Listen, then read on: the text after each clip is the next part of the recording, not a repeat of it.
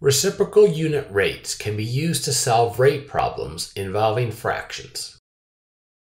In the previous video, the values on this double number line represent a faucet that is leaking at a rate of 3 eighths of a gallon of water in one quarter of an hour.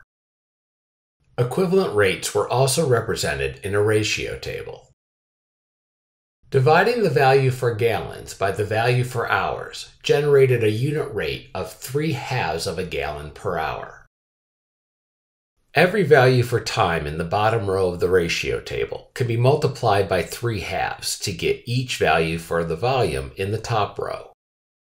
So, any value for elapsed time can be listed in the bottom row.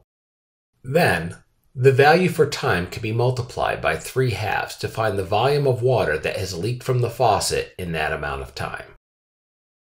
Likewise, if the value for the volume of water that has leaked is known, that value can be listed in the top row and divided by 3 halves or multiplied by 2 thirds to find the time that it took for the faucet to leak that volume of water. Note, 2 thirds hours per gallon is the reciprocal unit rate for 3 halves gallons per hour.